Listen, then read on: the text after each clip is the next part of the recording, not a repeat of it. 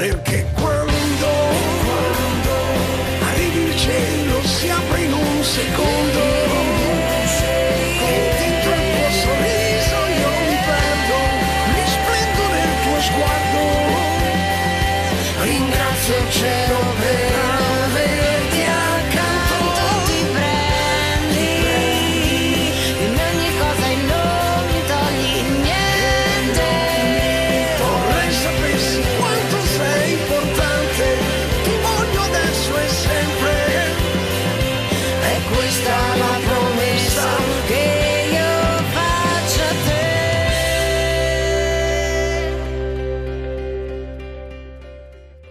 La splendida, davvero originale sigla del nostro Antonio Dottavio. Un nuovo format su Rete 8 Sport, promesse vincenti, calcio di settore giovanile. Intervisteremo i tanti dirigenti, allenatori, formatori dei numerosissimi club dilettantistici della nostra regione, la regione Abruzzo, per scoprire insieme, capire insieme come vengono formati e forgiati i tanti giovani, ma anche i bambini che si avvicinano a questa fantastica disciplina, ovvero il eh, calcio. Oggi per questo primo numero siamo ospiti della società Delfino Flacco Porto di Pescara. Seguiteci.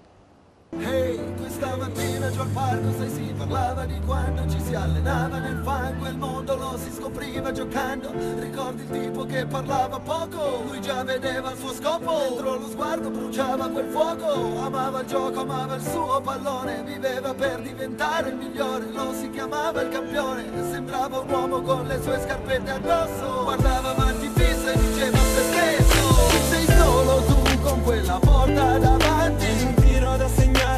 aspetta per svelarti se sei sogni per cui tu corri. Li meriti davvero, sono solo illusioni folli Solo tu e quella porta più là. Sotto i fischi di tutti quando quel tiro non va. Particolari sciocchi Se vali si vede dagli occhi Campo San Marco, Delfino Flacco Porto è la prima realtà che abbiamo voluto eh, conoscere qui a Pescara un po' più da vicino, vogliamo parlarne perché insomma il settore giovanile è fondamentale a tutti i livelli, soprattutto per società di natura dilettantistica. Siamo in compagnia di Cipriani, allenatore degli allievi. Intanto ti rivedo con grande piacere. Grazie anche io, anche io. Dopo tanto tempo ci rivediamo, significa che le cose vanno bene. Vanno molto bene e parlando del Delfino Flacco Porto, una grande famiglia, non c'è dubbio. Sì, eh, principalmente questa non è una società ma è una grande famiglia come hai detto e ci divertiamo a fare calcio sano eh, con i ragazzi e cerchiamo di farli crescere ma soprattutto di toglierli dalla strada perché la società in cui viviamo è una società difficile. presupposto fondamentale, prima la maturazione umana, poi quella sportiva se vogliamo. No? Fondamentale. Se non c'è maturazione umana non c'è quella sportiva, quindi prima l'uomo e poi l'atleta. Il nostro format eh, si chiama, si intitola Promesse vincenti. È chiaro che i bambini quando cominciano a giocare al calcio hanno il mito, no? magari il grande giocatore, il grande campione e vorrebbero arrivare a quei livelli. Tu da allenatore e da formatore che cosa ti senti di dire soprattutto a questi ragazzi? Ma la prima cosa che noi facciamo è cerchiamo di essere uniformi in questo, tutti gli allenatori, i dirigenti, è di togliere purtroppo i miti negativi, perché loro principalmente sono attirati dal tra virgolette testa calda, no? da quello che si mette in evidenza. Deve essere imitato perché poi c'ha la macchina, c'ha la velina e quant'altro. Quindi la prima attenzione è cercare di sfatare quelle- que- quegli esempi. Forse è la cosa più difficile. Difficilissimo, è difficilissimo perché poi oggi chi va bene a scuola è uno sfigato. Invece chi ha la macchina e fa un frontale o parcheggia sulla- sulla- sul marciapiede, gli traino la macchina, è un fenomeno perché... Quindi prima attenzione su quello, scuola, famiglia. Noi qui abbiamo fatto anche con eh, ripetizioni dopo gli allenamenti, abbiamo un'aula. Le cose sono un po' cambiate, nettamente cambiate rispetto a prima. Io e te lo possiamo dire che abbiamo qualche anno. Insomma, Sì, sì, sì, sì, sì. No, ma sono cambiate perché noi se avevamo 5 minuti andavamo al campo. Eh, se poi avevamo un pallone e qualche amico giocavamo in mezzo alla strada.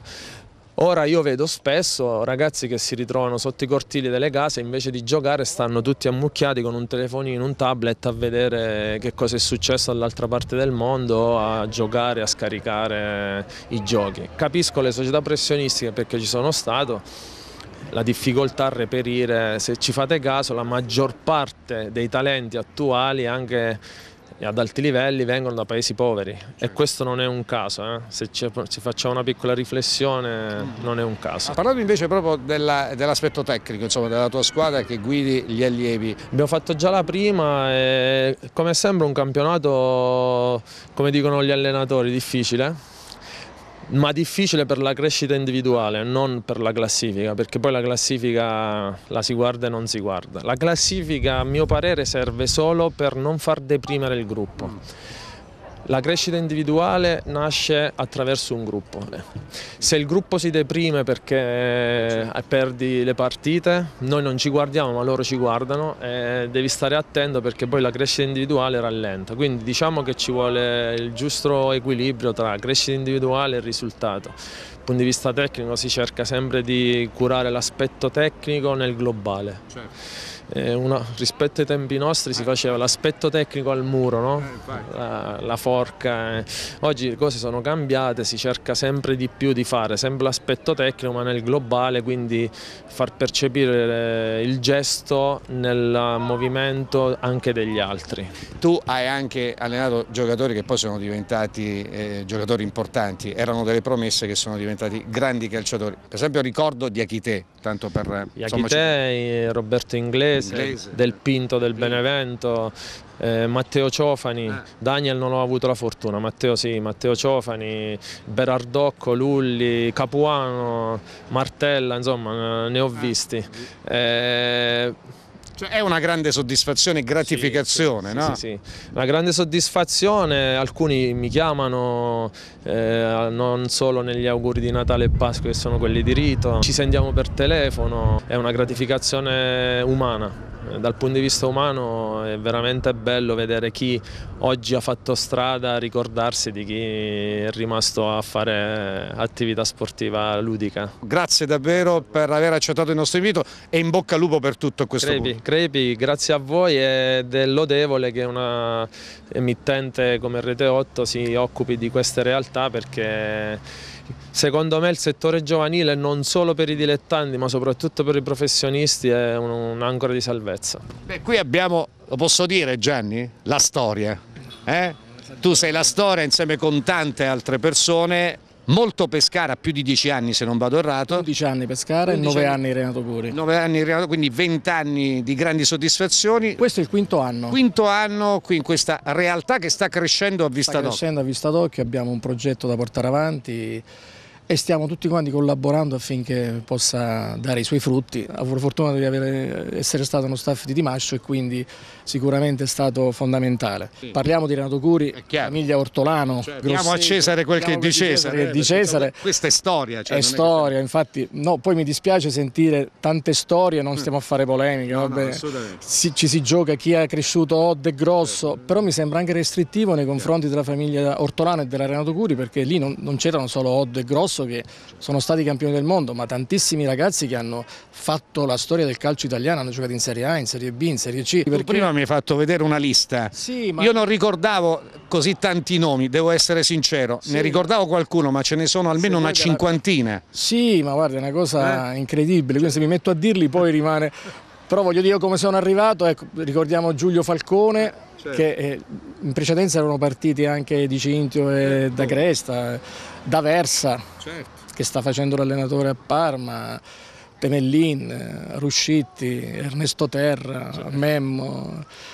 Assetta che è andato insieme a Memmo, Faieta. Faieta che è stato secondo me il talento più grande che ha avuto Renato Curi, Donofrio che a quei tempi era un fenomeno che è andato insieme a Falcone andò insieme a Gianluca a Torino, poi lui ha avuto più fortuna diciamo tra virgolette e il figlio di Gianluca sta con noi e in più abbiamo anche il nonno, un certo Francesco Giuseppetti che abbiamo messo nel nostro quadro dirigenziale e tecnico, il guru del- della scuola calcio abruzzese. No, Assolutamente. io ricordo ero giovanissimo, ho fatto qualche settimana a Renato Curi, stiamo parlando di 35-36 anni fa e mi deliziavo a vederlo calciare. Sì, sì, ma Aveva un com- calcio fantastico. Senza insomma. polpacci stava giustamente, poverino, ed era, era bravissimo, veramente poi come brava persona. Insomma. E c'erano tantissimi tecnici nel Renato Curi, da Mansueti, Cialini e tanti altri che collaboravano, Panei che stava nello staff con me e Cetteo che è stato tantissimi anni. Una- Giusto per ripristinare un minimo di verità storica, perché, perché giustamente non poi- stiamo inventando nulla, Niente, questi niente, sono no, dati oggettivi. molte volte mi dispiace leggere queste cose e chi ha lavorato su questi ragazzi molte volte viene accantonato e chi non sa la storia non- bisogna acculturarli. Siamo stati al Pescara con Dimascio 11 anni, anche lì, grazie a Dio, possiamo dire che ci sono stati tantissimi ragazzi, forse c'è con le mani fatate. Abbiamo Croce che continua a giocare, abbiamo i fratelli Ciofani, eh, abbiamo Mammarella. Mammarella, Roberto Inglese che sta giocando, cioè voglio dire, Verratti, Ivan Artipoli, cioè, alla Sampdoria. Sampdoria. A proposito, prima di parlare di questa splendida realtà, ecco, ci troviamo al campo San Marco. Ricordo stagione 2008, un amico comune, Giorgio Repetto, mi disse perché non ti vai a fare un giro con la telecamera? Esatto, vai con un tuo operatore, metti all'ordine di servizio la partita del Pescara, Berretti, se non vado errato, allenata da Norscia. Era allenata da, da, da da Gianfranco Noscia. sì. Finalissima, campionato Berretti, partita di ritorno, Pescara Pro Sesto. Vedrai un talento e se ne parlerà. Questo talento era Marco Verratti, aveva appena 15 anni, lo stravedere in campo e c'erano 5 anni di differenza tra Marco Verratti e Sì, tutti gli Gli altri. altri della Prosesto, sì. Noi avevamo perso la partita dell'andata 4-0, iniziò la partita dopo 5 minuti eravamo 1-0 sotto, dopodiché Marco ha messo, messo le giostre, finita 4-1 per noi, loro impauriti, a fine partita ci dissero ma dove l'avete preso questo? Insomma, potremmo parlare e fare una trasmissione Sì, su sì, sì. quello che è stato fatto in Abruzzo, dall'Arena Curi e non solo. Ecco, il Delfino Flaccoporto. Qui diciamo che ci chiamò Luca Febo. perché voleva ricostruire un po' e quindi eh, ha chiamato me, ha chiamato Guglielmo Bonati che è l'allenatore della prima squadra e lui ha giocato anche lui con Renato Curi, ha giocato con la primavera del Pescara e ho cercato di portare tutte persone che avevano quella cultura e quindi ho portato Cipriani, Luca Febo già c'era, eh, il preparatore portieri Cirulli Nunzio che è stato con noi l'Renato Curi, il magazziniere Carlo Di Nicola Antonio che è fondamentale se non eh, risvolti i calzettoni. Ciofani mi dice, mi ha detto l'altro giorno, sto facendo un libro dove metterò Carlo Di Nicola Antonio perché io rigiro ancora i calzettoni e tutti mi dicono ma perché li rigiri? Perché mi hanno acculturato in questa maniera. Diciamo che gli obiettivi della nostra scuola calcio li ricerchiamo a livello sociale, motorio e psicologico. Sociale perché noi abbiamo un compito fondamentale insieme alla famiglia, alla, alla scuola, alla, alla chiesa, ai compagni di, di creare il futuro uomo. Il senso del confronto che è fondamentale, saper accettare la sconfitta, non esaltarsi nel caso della, della- della vittoria e quindi sono tutte fondamentali perché poi a livello motorio giustamente una volta gli schemi motori di base, correre, saltare, afferrare, arrampicarsi, si facevano tutti i giorni in mezzo alla strada, sugli al- si saliva sugli alberi, adesso questi ragazzi non vanno tutto ciò. A livello poi psicologico cerchiamo di lavorare sul ragazzo perché deve diventare indipendente, nel senso che il bambino deve imparare a fare la doccia da solo, si deve cambiare, deve prendersi la responsabilità di telefonare al mister, mister oggi non posso venire perché non sto bene, perché mamma mi ha punito che non ho fatto i compiti, queste cose qui, perché molte volte so- è la mamma che telefona e non va bene, i bambini devono iniziare, perché poi prendono fiducia in loro stessi. Poi noi dallo scorso anno abbiamo inserito il terzo allenamento anche a livello eh, pulcini e primi calci, Terzo allenamento che l'obiettivo è aumentare la propria autonomia, vengono al campo, mezz'ora stanno col mister, poi quell'ora loro prendono le casacche, il pallone, fanno le squadre, il mister li guarda ma senza proferire parola perché devono fare tutto loro e secondo me quella è una crescita importante perché c'è il bambino che molte volte è timido, invece quando si sente libero, tutte le nostre squadre sono attrezzate con allenatore, allenatore in seconda, preparatore atletico, più occhi secondo me migliorano sicuramente la prestazione e, e- e la crescita, e la crescita del ragazzo. Questa capacità di adattamento oggi come oggi non c'è perché sono abituati adesso col campo in sintetico, quando vanno su un campo in erba dove trovano il ciuffetto, eh ma c'era il ciuffetto, ma tu devi capire che c'è il ciuffetto, devi capire che c'è il vento, devi capire che c'è l'avversario, devi capire che c'è, l'arbitro. Noi che eravamo abituati a giocare a Rampigna col No, campo facciamo allenamento pieno di la- fango. Benissimo, Eh? noi con l'allenamento con la Curi facevamo allenamento al parco, allo spartitraffico, fra l'an- l'antistadio e il campo sul cemento. E poi dobbiamo anche citare, non l'abbiamo ancora fatto, Patron Paluzzi che fa insomma grandi sacrifici. No? Dipende tutto dal fatto che abbiamo Luciano che è il nostro presidente, che certo. più che un presidente è un factotum, Luciano fa tutto. E poi abbiamo il patron, ha piena fiducia in noi e quindi ci permette di fare tutto ciò che, che stiamo facendo. Diciamo che gli è tornata la voglia di, di- di fare calcio a certi, a certi livelli. C'è collaborazione con le altre realtà, come vi muovete sotto questo profilo? Noi abbiamo adesso fatto un, un accordo diciamo, con la, la D'Annunzio, con Giovanni Mincarini, che è un altro di quelli che ha creato la Renato Curi. Allenatore sanguigno. sanguigno che li tempra i ragazzi. E poi abbiamo accordi ecco, col Pescara. Quest'anno abbiamo dato tre ragazzi al Pescara, un 2005, un 2003 e un 2004. Cioè la mia soddisfazione è quando ai mondiali c'erano Odd e Grosso, io stavo in divano e piangevo, dicevo, ma ti rendi conto io ho allenato questi ragazzi? Cioè mi emoziona ancora adesso. Un altro mi sono dimenticato, importante, Marco Stella. Stella ha fatto parte sia del gruppo Renato Curi sia del gruppo Pescara. Pescara. Gianni, è stato davvero un piacere, ci ha un po' illustrato questa splendida realtà, ma noi continuiamo il nostro viaggio qui Certo, eh, certo. al Campo San Marco. Fate la ripresa perché veramente il Delfino merita tutto ciò perché veramente stanno facendo cose, stiamo facendo cose importanti. Con Nunzio Cirulli parliamo di questa novità, una rarità nel mondo dilettantistico, no? la scuola portieri. Sì, eh, la scuola portieri è una novità in quanto eh, penso sia l'unica in Abruzzo, ma eh, credo anche in Italia una delle poche, che dura eh, l'intera stagione. Eh, siamo partiti due anni fa, diciamo il tutto è nato con eh, l'incontro mio che ho sempre militato e allenato nei dilettanti, con Emilio Tuccella che invece ha svolto una carriera sia da professionista come giocatore che come allenatore. E, abbiamo trovato in comune la passione per il calcio e per il ruolo del portiere. La risposta è più che confortante, insomma, voi guardi- siete agli inizi sotto questo profilo. Guardi, noi l'anno scorso siamo partiti con 13 iscritti.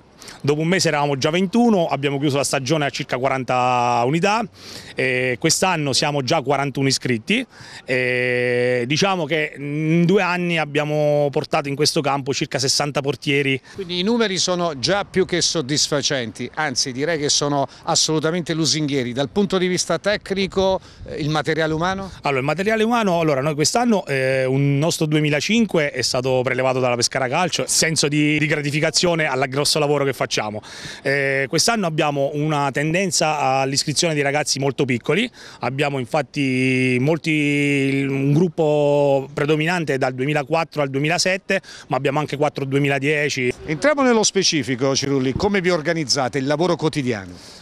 Allora facciamo una convocazione su un gruppo Whatsapp, abbiamo un gruppo Whatsapp eh, dove abbiamo le adesioni, eh, dividiamo i ragazzi in vari gruppi, tendenzialmente per anno di nascita, eh, ma anche per capacità o addirittura in base al lavoro che vogliamo fare in quell'allenamento, addirittura possiamo far lavorare i ragazzi più piccoli ad esempio con i più grandi, Eh, ti porto ad esempio l'esempio di Falso, il, po- il portiere della nostra prima squadra eh, che ha un'esperienza e un curriculum di tutto riguardo, ad esempio noi lo- eh, alle volte facciamo lavorare il 2004, il 2005 con lui perché diciamo nell'età giovanile eh, il senso di imitazione, eh, di emulazione è, è molto alto. Siamo molto attenti nel- nella gestione eh, della parte motoria, soprattutto dei più piccoli. Nello staff infatti abbiamo un professore ISEF che cura nella prima parte dell'allenamento tendenzialmente, soprattutto nelle, nelle fasce più piccole, tutta la parte motoria, di rapidità, di equilibrio, eh, di reattività e anche di forza. Quando si dice che il portiere è un uomo solo, è vero.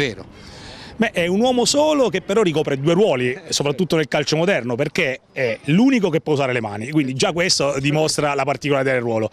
Ma è portiere, ma allo stesso tempo giocatore. È il primo che fa la fase difensiva ed è il primo che fa la fase offensiva. Guarda, leggevo un libro ultimamente. Sotto questo profilo Zeman sta mille anni avanti. Come sempre.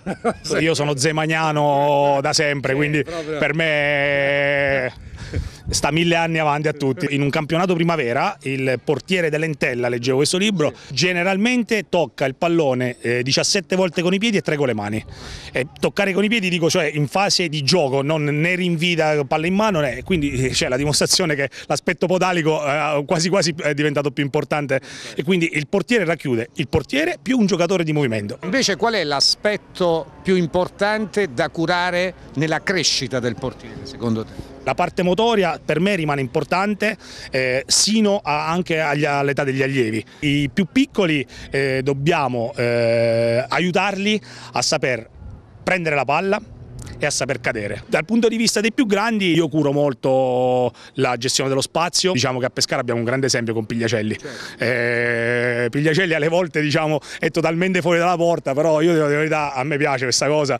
Eh, quindi diciamo il coraggio, la posizione, il saper rischiare. Quanto eh, conta secondo te dall'alto della tua esperienza l'altezza per far sì che un portiere diventi un grande portiere? Obiettivamente avere qualche centimetro in più eh, Aiuta. aiuta. Eh, però insomma diciamo che ci sono anche portieri che piccolini sfruttano la velocità, ad esempio, altre Eh, caratteristiche. Insomma. Eh, tecnicamente è fortissimo coi piedi, ha coraggio, ha voglia di rischiare. Io, per me questo è un portiere che eh, va a colmare il gap dei centimetri con, questa, con questa- questo coraggio, questa voglia di rischiare. Eh, però è indiscusso che il fisico fa la differenza. Ringraziamo Cirulli che è stato molto esaustivo, devo dire chiaro, ci ha fatto capire anche un po' le tecniche di allenamento e soprattutto ha eh, spiegato che cos'è la scuola portieri qui al Delfino Flaccoporto. Volevo solamente ricordare che noi la stagione è già partita, eh, la concludiamo il 30 maggio, eh, attualmente facciamo due allenamenti a settimana, il mercoledì e il venerdì eh, dalle 18 alle 19.30, chiunque volesse provare può venire qui al campo o contattarci eh, e può fare una settimana di prova alla scuola portieri. Luca Febbo, allenatore della Juniores, eh, trovare qui in questa splendida realtà qualcuno che non sia, che non venga da Renato Curi è una rarità, siete più o meno tutti Beh, questo, passati per quella famiglia. questo anche perché il legame che si è stretto da, da quando eravamo ragazzi è rimasto tuttora, quindi le bellissime esperienze, le bellissime emozioni che abbiamo vissuto da compagni di squadra o da allenatori perché Gianni ci, ci allenava, adesso ce lo ritroviamo come collaboratore, per noi è... Parliamo di chiacchieretta. Chiarette, sì. E per noi è una cosa a parte emozionante perché comunque abbiamo visto tante cose insieme e poi ci dà stimolo e cerchiamo di apprendere quanto più possibile da Gianni perché è una fonte di, di esperienza inesauribile. Ti facciamo un po' di amarcord, sei giovane perché devi ancora compiere 40 anni, vabbè beato te, insomma, rispetto a me sei sicuramente giovane, ce ne portiamo 11 eh. Non li dimostro. Ah, grazie, ti ringrazio.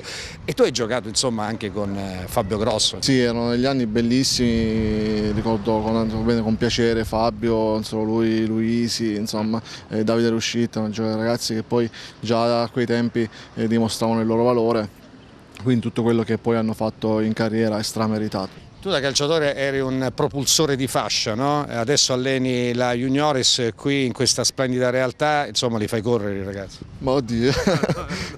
Adesso i ragazzi hanno meno voglia di correre rispetto a qualche anno fa, perché quindi io non ero molto dato tecnicamente e quindi cercavo di mettere a, a frutto quelle che erano le mie doti atletiche. Adesso i ragazzi fanno fatica insomma, a fare dei sacrifici dal punto di vista tecnico, quindi bisogna cercare di, di studiare il modo di farli correre diversa da come si faceva qualche anno fa, quindi cerchiamo di lavorare un po' più col pallone e quindi illudendoli che giocano col pallone, ma alla fine comunque corrono, corrono lo stesso, quindi dandogli l'illusione. Secondo te perché c'è meno propensione al sacrificio se vogliamo?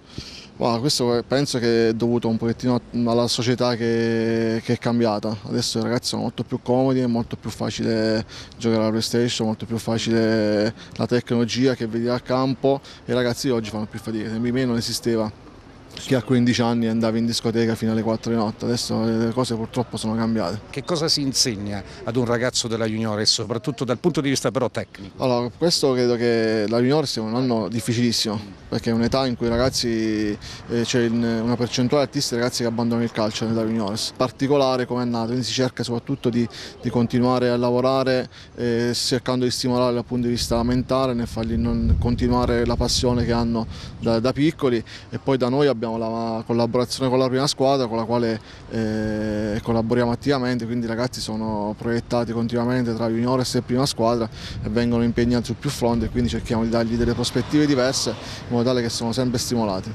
Stiamo parlando di eh, quale fascia d'età? Beh, sono ragazzi che vanno quest'anno dal 2000 al 98, quindi per i ragazzi 17 ai 19 anni, quindi puoi capire il massimo divertimento del sabato sera, eh, discoteche, ragazzi, quindi eh, tenerli 5-6 volte al campo a settimana diventa difficile. Quanto conta per un allenatore di settore giovanile il risultato? Probabilmente il risultato è relativo per i tanti discorsi che stiamo facendo. Beh sì, conta dal eh, punto di vista morale soprattutto, perché i ragazzi poi vengono al campo e hanno un- uno, uno stimolo diverso.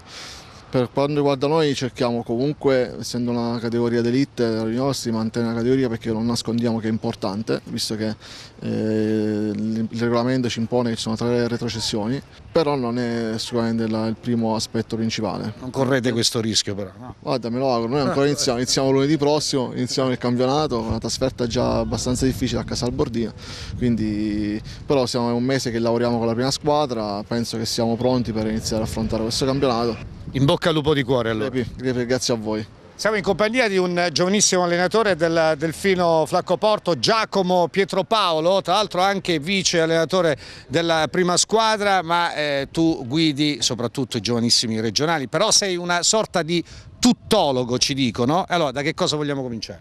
E partiamo dai giovani. Scegli tu la materia, perché tanto Partiamo dai mi giovanissimi. metteresti in difficoltà. No, no, no, no, tuttologo deriva un po' dal fatto che, che mi occupo di tante cose all'interno della società per piacere e anche perché ho un po' più di tempo a disposizione rispetto alle altre persone, quindi lo faccio con estrema felicità. Ecco, giovanissimi regionali, ricordiamo che la fascia d'età 2002 2003-2004. 14-15 anni. insomma, Esatto, in ecco. uscita scolasticamente, in uscita dalla terza media e all'ingresso alle superiori. Diciamo che è un'età molto delicata. Sì, moltissimo diciamo, perché ci sono poi anche in un ambiente come il nostro sono, è talmente eterogeneo che abbiamo a che fare con ragazzi di estrazione sociale completamente differente e un po' lo stimolo sta anche in questo, perché ci, ci fa crescere anche sotto questo punto di vista. Ecco, a livello tecnico, mi dici che cosa si spiega soprattutto e si insegna a un ragazzino di 14-15 anni?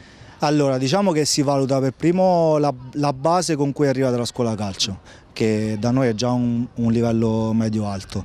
Dopodiché si parte soprattutto a lavorare sul singolo per arrivare nell'arco dei 7-8 mesi a lavorare un po' più sul collettivo e trasferire il gruppo agli allievi dove si, si lavora quasi esclusivamente in collettivo. Voglio fare un po' il cattivello. Si dice che i giovani formatori di oggi eh, privilegino più la tattica alla tecnica. È così o no?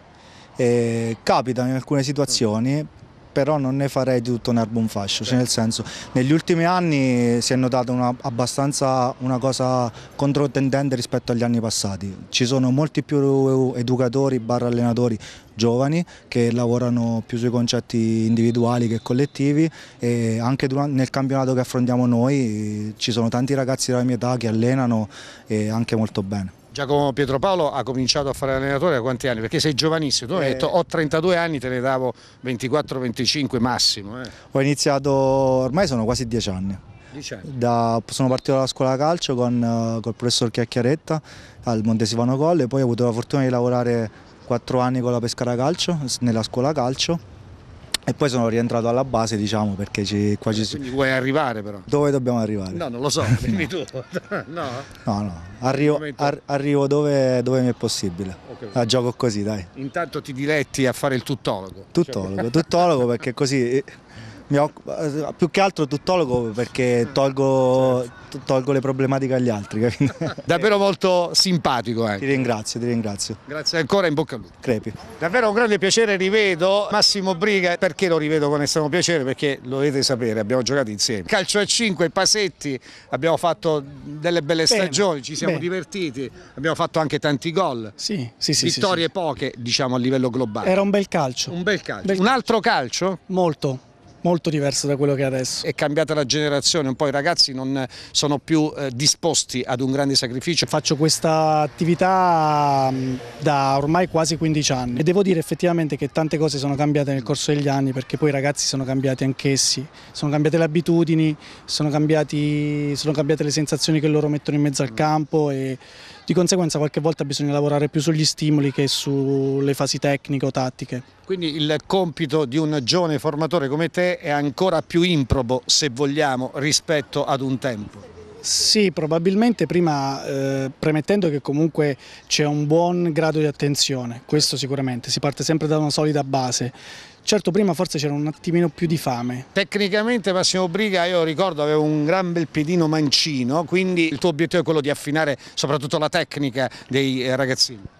Sì, curiamo tantissimo il profilo tecnico, di tecnica individuale e di tecnica collettiva, quindi cerchiamo di dare lo sviluppo della situazione tecnica anche in una fase di gioco predisposta, come può essere un lavoro su una, su una sovrapposizione, su uno scarico, su una palla dietro palla avanti, insomma tutte simulazioni di gioco che poi si ripropongono in partita e che aiutano a crescere il ragazzo sotto il profilo della propria tecnica individuale sicuramente.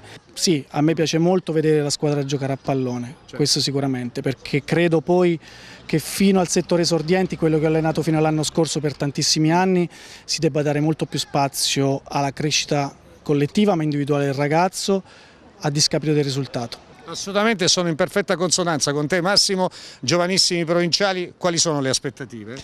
Le aspettative è preparare un gruppo che il prossimo anno affronti il campionato regionale e che sia pronto a entrare sicuramente, speriamo, nell'elite. E il mio obiettivo è uno solo, non dobbiamo vincere il campionato, non dobbiamo vincere le partite per forza, dobbiamo costruire un gruppo che il prossimo anno sia competitivo a livello mentale, fisico, tecnico e abbia la voglia di affrontare i regionali che sono un ostacolo tosto. Tosto. Ma ogni tanto te la fai qualche partitella oppure hai deciso proprio di appendere gli scarpini al chiodo? No, ogni tanto sì, ogni tanto, ogni tanto sì. Con Stampone, Carletto, no, Perfetti, Lorenzo. Con loro vado a mangiare fuori. Ah, con loro si va a mangiare fuori. sì. Basta con il calcio. Per, con loro sì, con gli altri, se no con loro mi arrabbio. Non possiamo non concludere col presidente del Delfino Flaccoporto, Luciano Zangirolami, che è un'istituzione nel calcio pescarese, nel calcio cittadino. Quante battaglie, Luciano?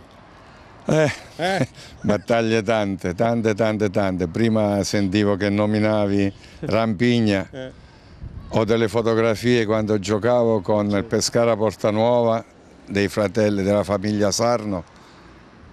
Gente sul ponte appoggiato perché non ci stava a vedere la partita. La tribuna era piena, roba di 3-4 mila persone a vedere la partita di promozione di eccellenza. Quindi battaglie tante in quei campi, in quei campi. con tanto di eh, fango. Certo. Continuato nei dilettanti, sono stato bene qua a casa senza prendere mai un centesimo. Sempre per pura passione, questo va detto, sottolineato e ribadito, ormai da cinque anni in realtà, no? Sì, qua è cinque anni che ci sto. Ecco, negli anni avete messo su un gioiello. Sì, tutte le decisioni li prendiamo assieme, non è che ne prende uno. Cioè sono tutte condivise. Tutte condivise. E ringraziamento generale alla famiglia Paluzzi, il Delfino che ci supportano, ci certo. sopportano, fanno tutto quello che non diciamo che, che dice. Ci, ci, mette questa famiglia passione, faccia e soprattutto soldi, perché poi alla fine sì. stiamo parlando di un giocattolo esatto. che costa. Eh, noi abbiamo dalla promozione, juniores, due allievi, tre giovanissimi, tre esordienti quanti pulcini, tre... l'attività di eh, base. E l'attività di base. Unità totale Ma 200? Sui, sui 200 per adesso, su, due, eh, 200 e 250. Niente male, eh? No. Beh, eh, una realtà, voglio dire, che vive anche, a pescare. E anche la fortuna che abbiamo avuto di avere in gestione eh, il campo qui San Marco. Titolo maggiore diciamo che è quello della beneficenza, chiaro. che il patron Paluzzi in Africa eh. ha costruito una scuola per i bambini africani quindi oltre qua abbiamo la, la sala, cioè la camera AIL, eh, a livello anche di adesso di questi ragazzi, che, i profughi, certo. li mette al lavoro da lui, qualcuno viene a giocare qua, quindi abbiamo il punteggio adatto per poter avere a disposizione. Poi tutti i campionati, il campionato maggiore perché siamo oggi è venuta la Fatina in promozione, ma siamo la seconda squadra di Pescara. Eh, a proposito, si vince il campionato quest'anno? No? Il campionato lo vince il campo, lo vince. Però ti dico che l'anno scorso noi siamo stati la squadra premiata dalla federazione, la giovane. squadra più giovane, la media 23 anni, 23 anni e 4 mesi. Siamo con il responsabile della comunicazione, il collega Cristian Barisani. Intanto ti chiediamo, Cristian, come è nata questa opportunità? Mi pare di capire, così conoscendola per un attimo, che ti sei introdotto in questa famiglia da subito con grande spontaneità. Beh, sicuramente ringrazio il mister Bonati che mi ha introdotto e soprattutto il padrone Quinto Paluzzi che è una persona eccezionale della grandissima umanità, una persona che io già considero un secondo padre. Una società tra l'altro molto organizzata, nella quale davvero vi volete tutti bene, ho visto. Qui ci sono dei valori, dei principi, c'è un'etica che non è presente dappertutto e per questo già, se non è molto che sono qui, mi sono innamorato di questi colori e spero di fare ancora molto per loro. Tutto quello che hai visto, questa meraviglia, è frutto di questo spirito, no? si può parlare di spirito del delfino. E io cerco di incarnarlo come meglio posso. E lo stai facendo molto bene, almeno a giudicare da questi primi mesi. Volevo ricordare il segretario che è Gino Di Lorito che alla sua giovane età di 81 fa ancora il segretario è conosciutissimo in tutto l'Abruzzo. E poi le due signore che a noi ci danno tanto la Virginia e la signora Cinzia. Sono persone che lavorano dietro le quinte ma che sono altresì importanti come esatto, quelli che sì, magari sì, sì. risaltano di più. È chiaro, sono queste tre persone che meritano anche di essere citati perché vale la pena. Chiudiamo qui il reportage dal campo sportivo San Marco, grazie davvero allo staff del Delfino Flaccoporto. Salutiamo Patron Paluzzi, ma ci sarà l'occasione per intervistarlo. Grazie di nuovo a Cristian Barisani che ci ha dato questa opportunità, ci ha permesso insomma con la sua eh, professionalità di venire qui e di farci intervistare Vabbè, tutti. Grazie. il merito di tutto, è come loro hanno detto, è del patron Paluzzi che investe e ci permette a tutti quanti di stare qui in mezzo e di dare a tutti il nostro meglio perché il patron Paluzzi riesce sempre a tirare fuori il meglio delle persone. Questo è un suo grande merito e noi tutti facciamo di tutti per ripagare queste sue grandi doti. Grazie ancora e viva il Delfino Flaccoporto. Grazie a tutti. Perché